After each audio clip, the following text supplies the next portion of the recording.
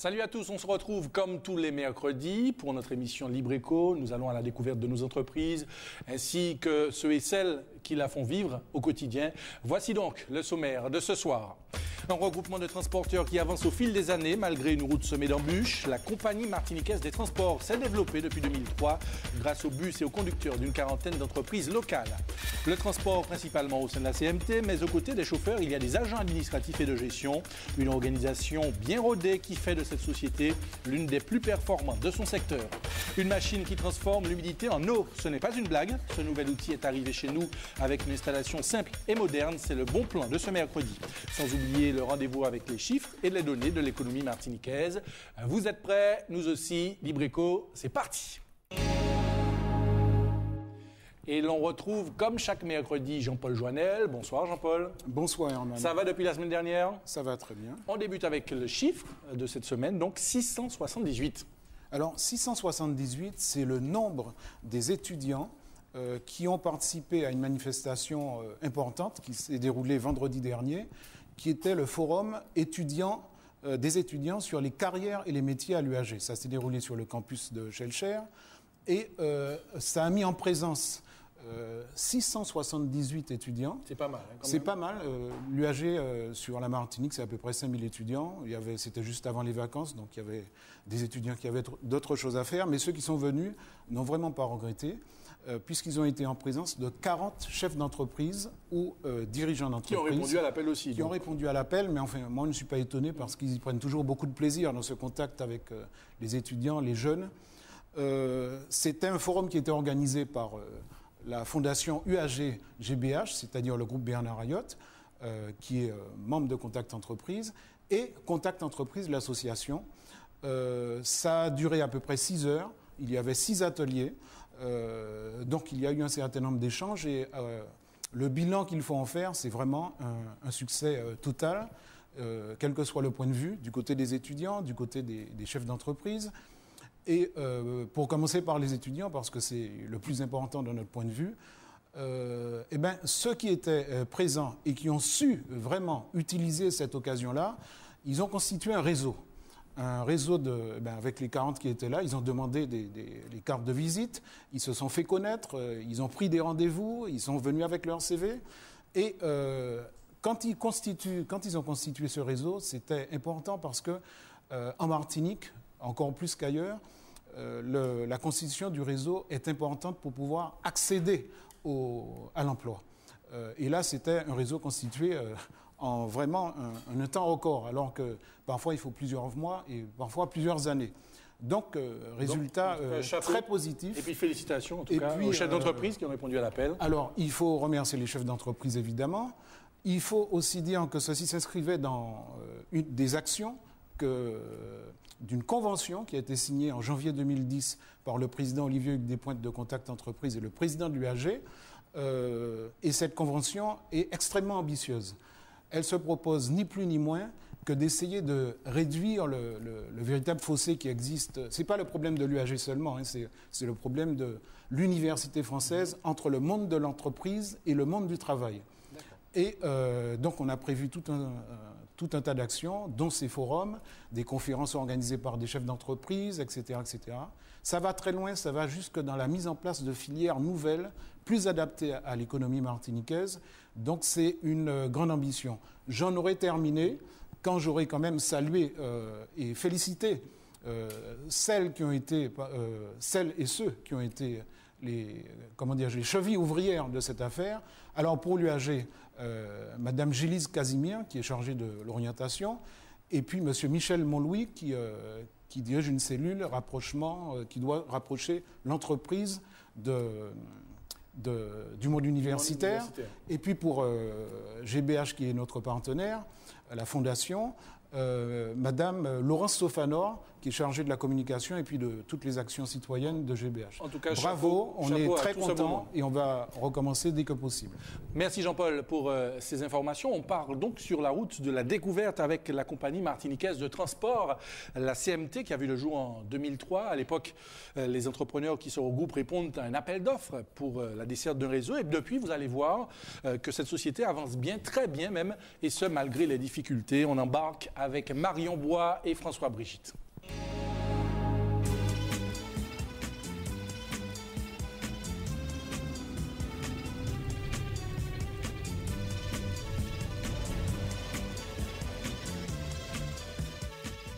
Ça me soulage pour monter le monde à la croisée.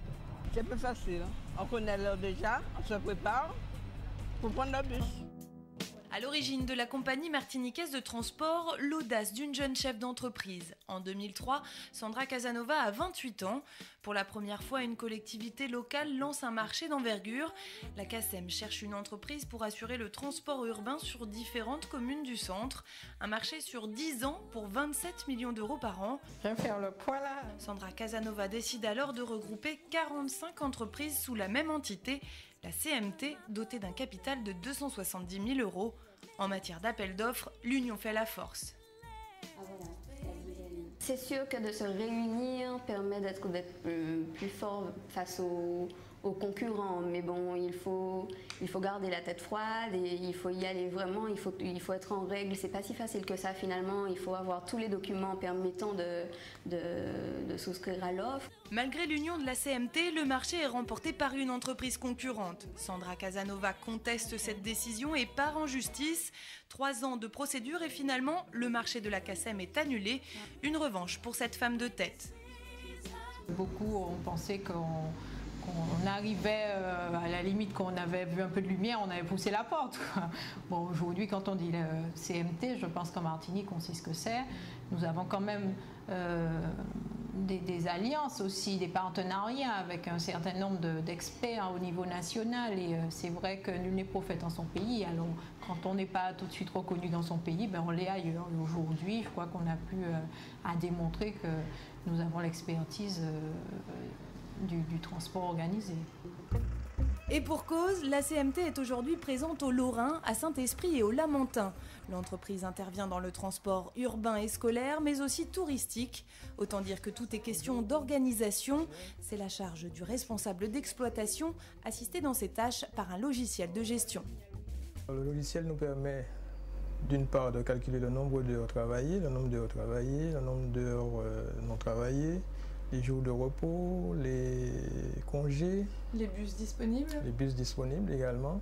C'est un atout en plus, puisque tous les, toutes les entreprises ne l'ont pas et on peut profiter au mieux du logiciel. Désormais, la CMT se pose en leader sur le marché du transport urbain. 1,8 million d'euros de chiffre d'affaires, mais comme souvent, on reste plus discret sur les bénéfices.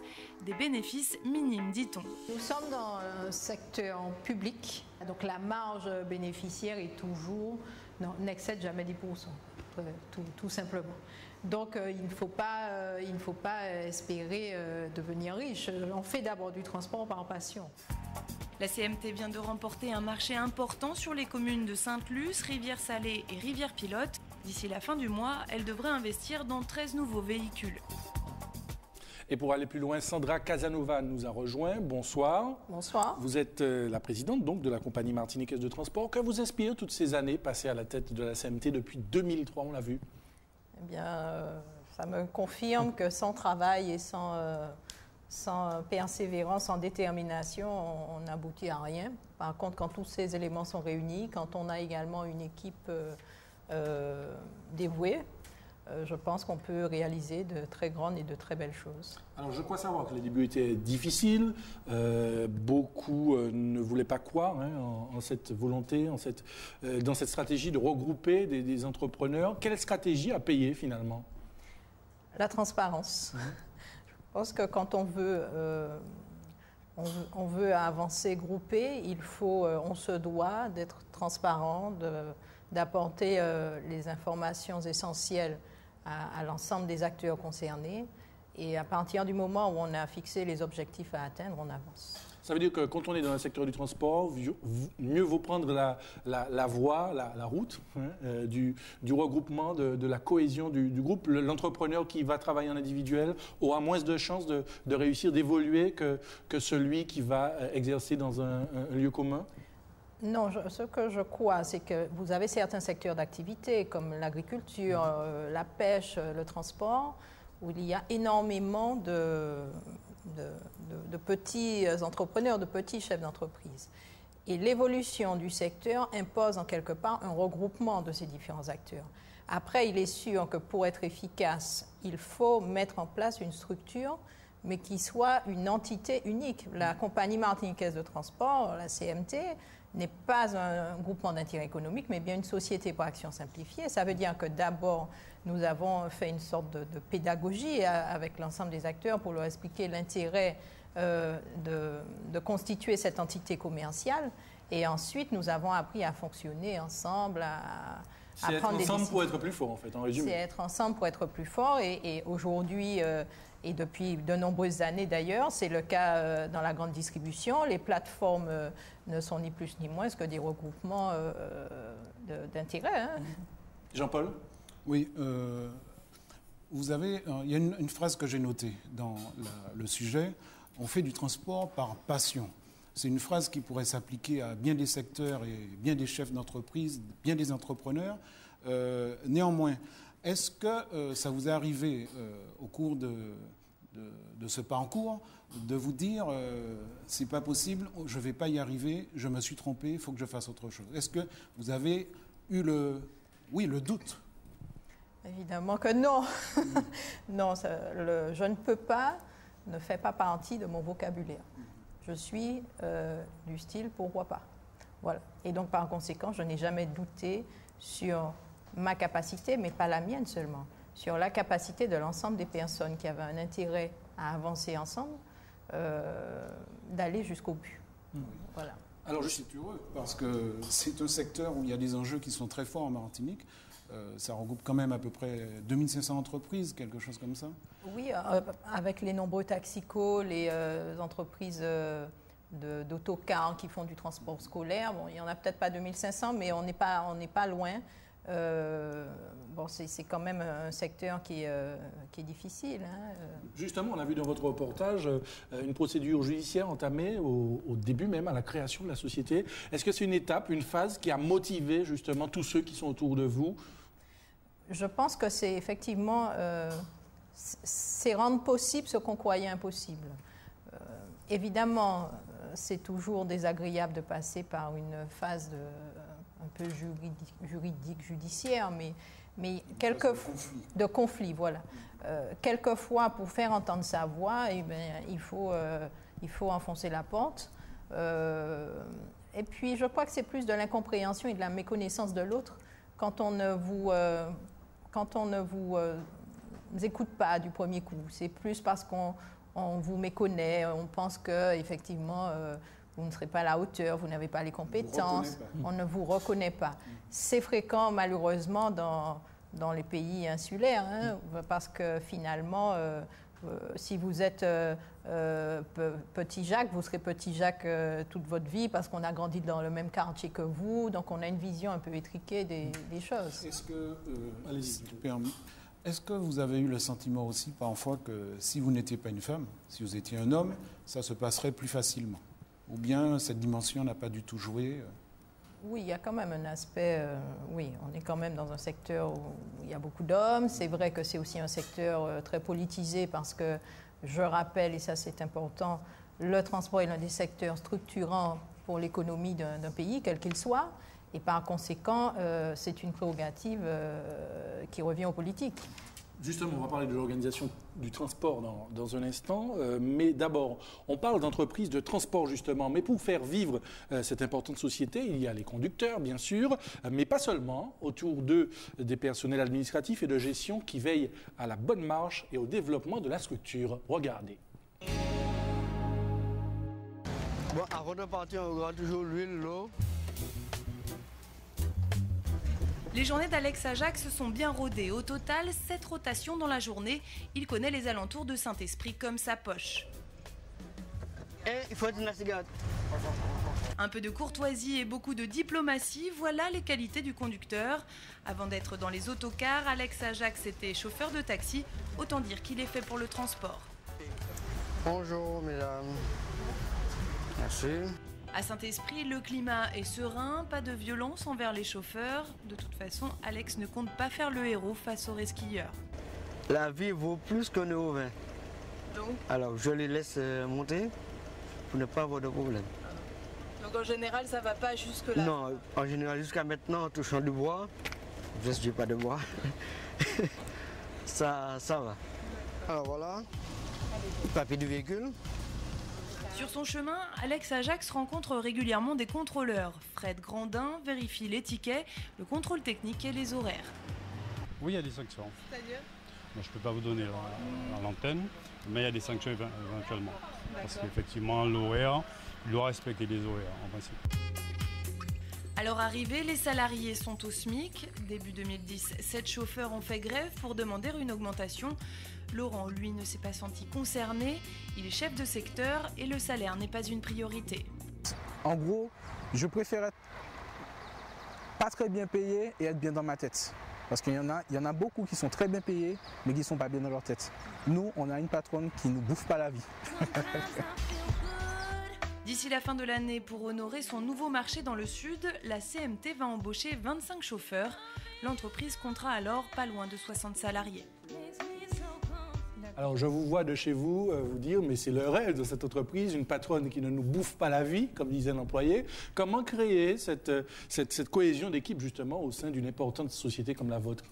Faire confiance, euh, valoriser les personnes qui travaillent avec vous, partager un objectif. C'est-à-dire qu'il faut déjà euh, définir l'objectif, le leur présenter.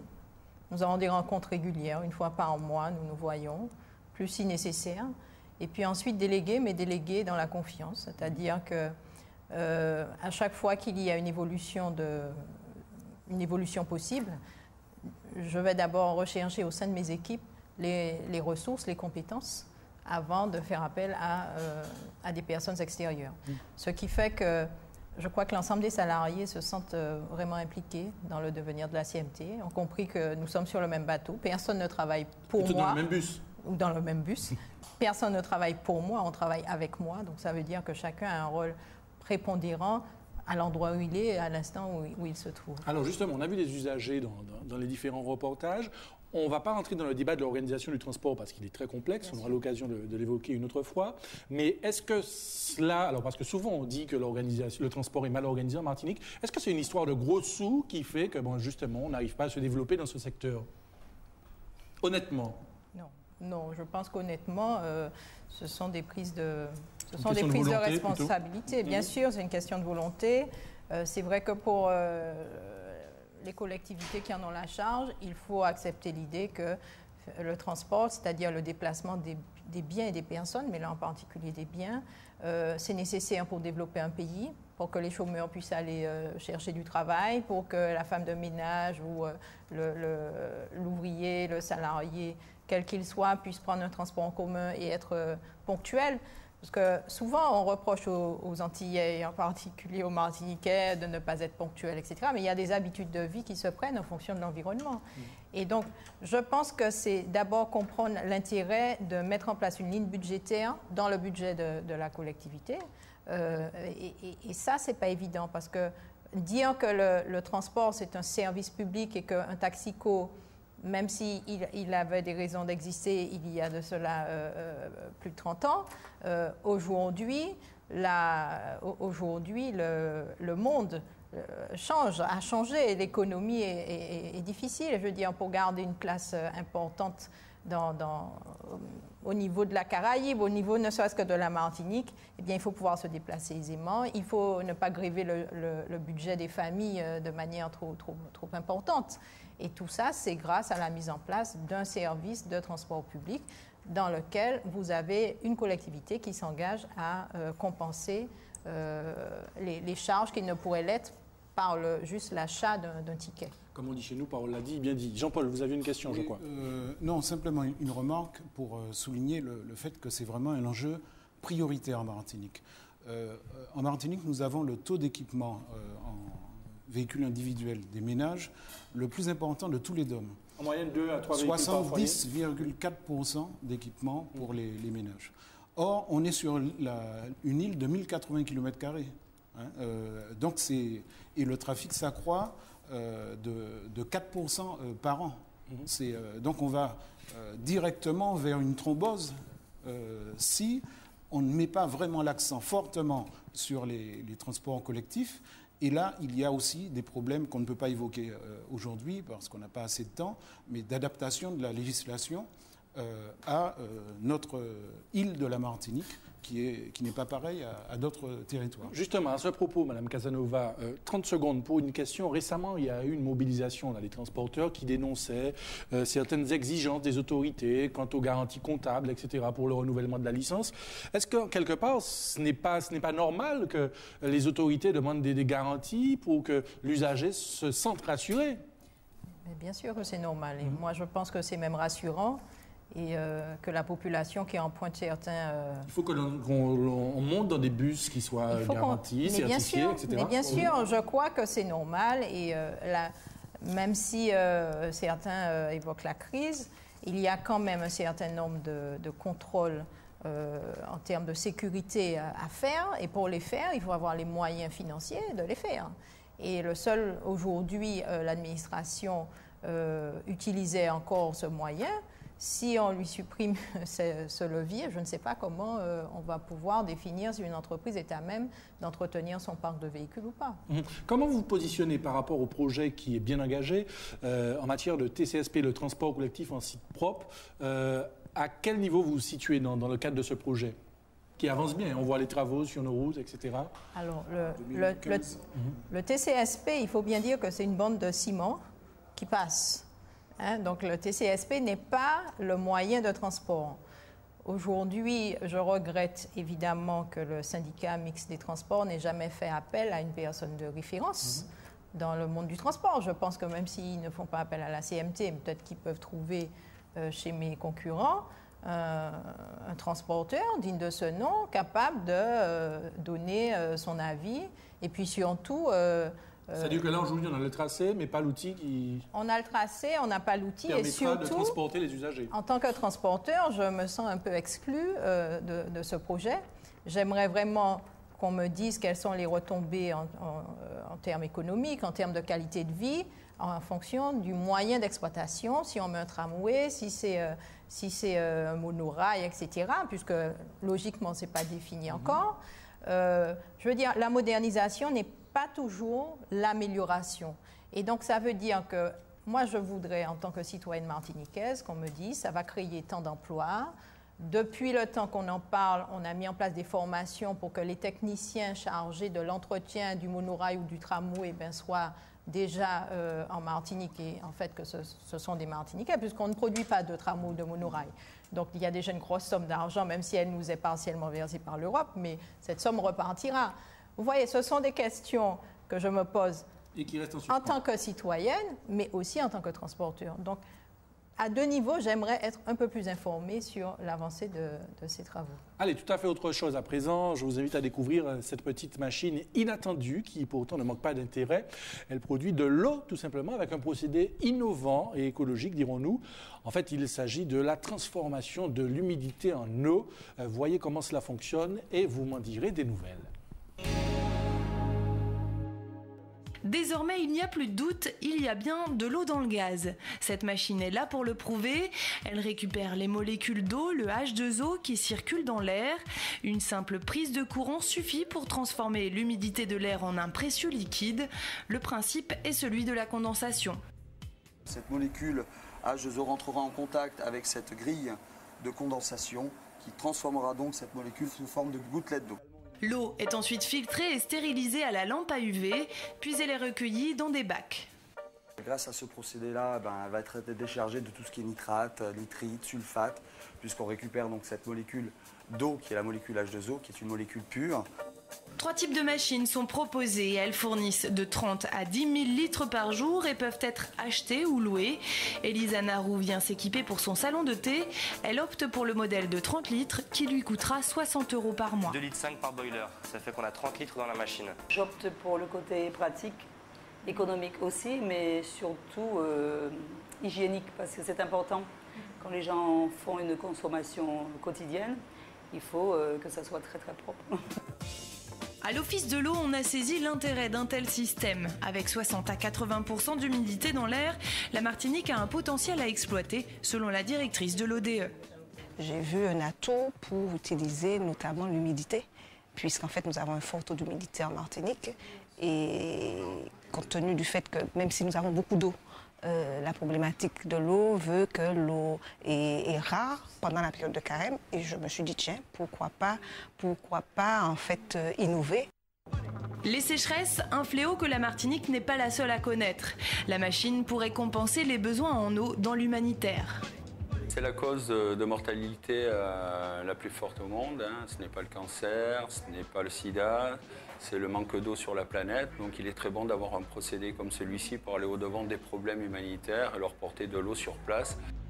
L'entreprise a reçu cette année le premier prix de l'innovation au Salon de l'Habitat.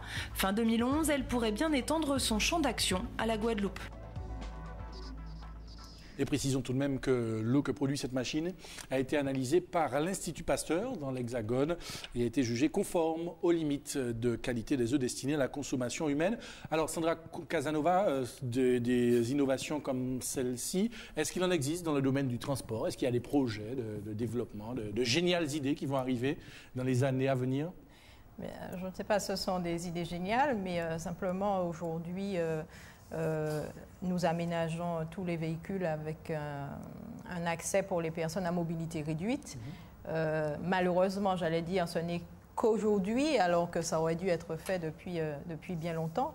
Donc oui, s'il y a quelque chose de, génial, c'est ça, mais dommage qu'on n'y soit pas passé bien plus tôt. Un mot sur les perspectives, puisqu'on va devoir se quitter. Un mot sur les perspectives donc pour la CMT, les grands projets eh bien, les grands projets de la CMT, euh, essentiellement, euh, enfin, sont essentiellement le maintien euh, dans les différents sites où la CMT se trouve déjà, et puis donc étendre son, étendre son périmètre d'action. et puis surtout, un souhait, c'est que la CMT devienne ou continue à être un, véritable partenaire à la fois pour les élus qui nous font confiance, pour ceux qui vont nous faire confiance demain, et pour l'ensemble des, des clients et, euh, et, également de, des salariés qui font vivre euh, l'entreprise. Merci en tout cas d'être venu nous parler de cette fabuleuse aventure de la CMT. Un salut, un coucou à tous vos, employés, tous vos collaborateurs, tous ceux qui font vivre cette merveilleuse aventure de la CMT. Merci en tout cas. Merci à vous. Allez, on se retrouve dans 30 secondes pour l'actu de Contact Entreprise. Mon cher Jean-Paul, de quoi nous parlez-vous ce soir? Alors, d'une grosse manifestation euh, qui arrive euh, dans quelques jours, euh, qui est la, fête des entreprises en Martinique. La, fête des entreprises, c'est un label national. Et nous avons décidé cette année à Contact Entreprise de nous associer à Entreprises et Environnement, dont on a parlé la semaine dernière, pour faire une opération qui s'appelle Opération Pays Propre. De quoi s'agit-il? Il s'agit pour les entreprises de se constituer en équipe et euh, d'aller euh, procéder au nettoiement euh, de sites et, ou de plages qui auront été choisis par entreprises et environnement. C'est une opération d'utilité publique. Ça permet de renforcer les liens à l'intérieur de l'entreprise, de faire quelque chose d'utile et puis de vraiment donner un certain dynamisme à chacune des entreprises pour euh, que tout le monde soit euh, ensemble sur quelque chose de, précis et d'intéressant. Alors, ce sera du 18 au 21 novembre, pendant quatre jours. Pourquoi quatre jours? Parce que les entreprises sont diverses. Il y en a qui peuvent le faire le jeudi, d'autres qui préfèrent le faire le dimanche. Mais l'important, c'est que pendant cette plage de temps, de quatre jours, chaque entreprise ait la possibilité de se manifester. Alors, euh, le plus important peut-être en termes de communication, c'est que pour participer à cet événement, il faut s'inscrire sur euh, deux sites Internet, euh, le site de Contact Entreprise et le site de